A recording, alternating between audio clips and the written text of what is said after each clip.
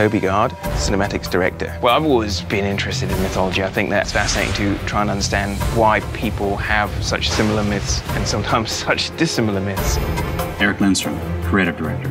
It took a lot of time to figure out what the mythology of the game should be because it's not something to be determined in isolation in terms of coming up with all the different places she would go. There were visual things to be considered. That leads to the mythology you would find in those places. That leads back to what locations would be effective and vice versa.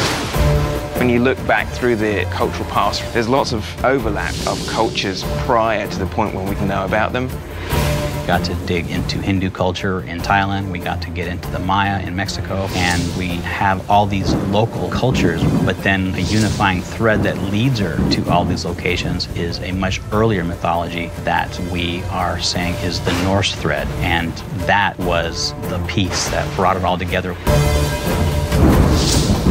Various myths use different names, but they all apply to the same remnants of the ancient world.